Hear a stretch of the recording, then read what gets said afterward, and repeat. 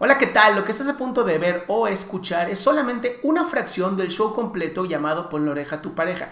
Si estás interesado o interesada en ver el show completo, te pido que entres a adriansalama.com para que puedas ver ahí el show completo a través de mi plataforma YouTube o escucharlo a través de mi plataforma de podcast. Hola, ¿qué tal, Adrián? Hola, Hola, ¿qué están? ¿Cómo están? Muy bien, aquí, contentos. Ah, saludos de Ecuador. Eh, les tengo una pregunta a los dos, no sé si podrían ayudarme. Yo tengo a una amiga que es de 26 años. En contexto, su familia es religiosa en cuestión al ámbito católico. Eh, actualmente, el papá de ella tiene una enfermedad que le reduce la movilidad corporal. En sí está encamado, como le dirían vulgarmente. E- ella lo cuida eh, las 24 horas sin asistencia médica. Solo le ayudan y todo un terapista respiratorio en cuestión a las funciones respiratorias, nada más. De ahí ella tiene que arreglársela sola con el aseo y todo, y todo lo demás. Pero ella está sobrecargada, ya que mantener a una persona en ese estado es complicado. Pero yo le decía a ella que entre su familia, que son seis personas en total, deberían dividirse la carga, ¿ya? Deberían dividirse la carga.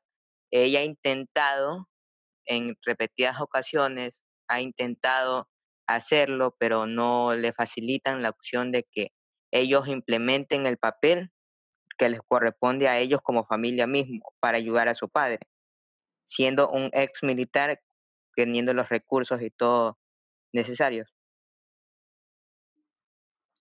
¿Y cuál es tu pregunta?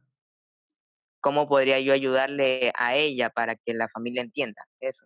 Bueno, una, una, una buena opción es eh, y de- de- decirle a ella, vamos a compartir horas tuyas, yo voy contigo a, cuidar a tu, a, a tu suegro, digamos, al papá de ella. Esa es una opción, decir, bueno, sabes que como tú no puedes salir de aquí, yo voy a venir aquí y estar ahí con ella, y pues ya eso ya no es una pareja, ¿no? Ya son amigos que están ayudándose entre uno y el otro. Por otro lado, ¿qué edad tiene ella?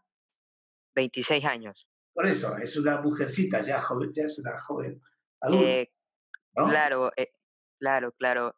Pero anteriormente ella era consentida por el papá y recién ahora actualmente se está dando con la situación del padre, que Claro. cayó de repente y todo. Pero esto, esto habla también de gratitud, ¿no?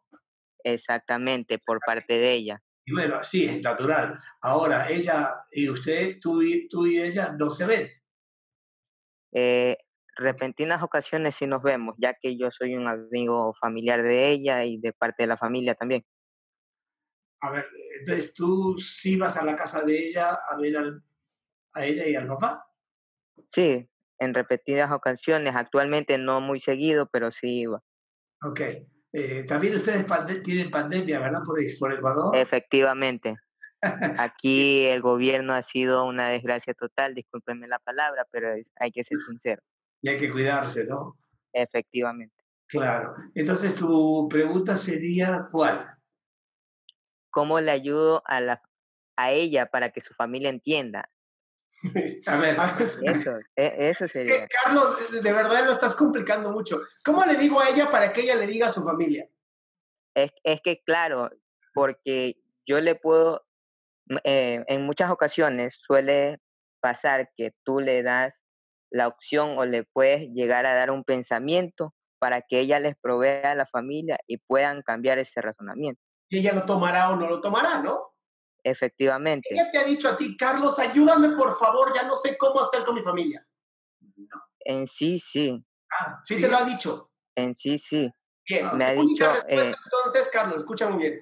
Tu única respuesta es, mi amor, yo ya te di todas las soluciones que hay, ya no conozco más. y depende. Mi recomendación es, ve a terapia, resuelve tu problema con tu familia y aquí va a estar yo, tu novio Carlos, siempre apoyándote en lo que yo pueda desde donde yo estoy. Efectivamente, pero eh, en cuestión, por eso le decía el ámbito religioso.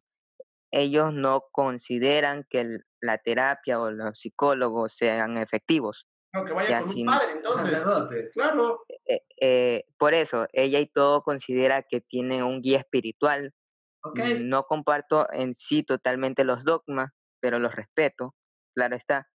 Entonces, por eso, no sabría cómo decir. Sí, mira, eh, ¿cómo se llama? Carlos. Carlos. Carlos. Hay, hay una frase, hay, eh, ¿cómo se dice? hay una sentencia que dice, eh, nunca te metas con alguien que tenga más problemas que tú. ¿Has oído alguna vez eso? Eh, no, primera vez.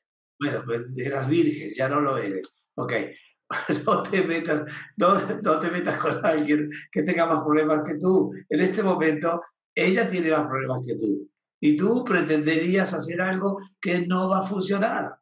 Así que piénsalo bien, analiza bien la situación y esperemos a que termine la pandemia y esto empieza a, a construirse de nuevo, reconstruirse de nuevo bajo nuevos parámetros. Esa es la sugerencia. Mm, muchas gracias y, y saludos a Ecuador. Muchas gracias, de igual manera. Gracias.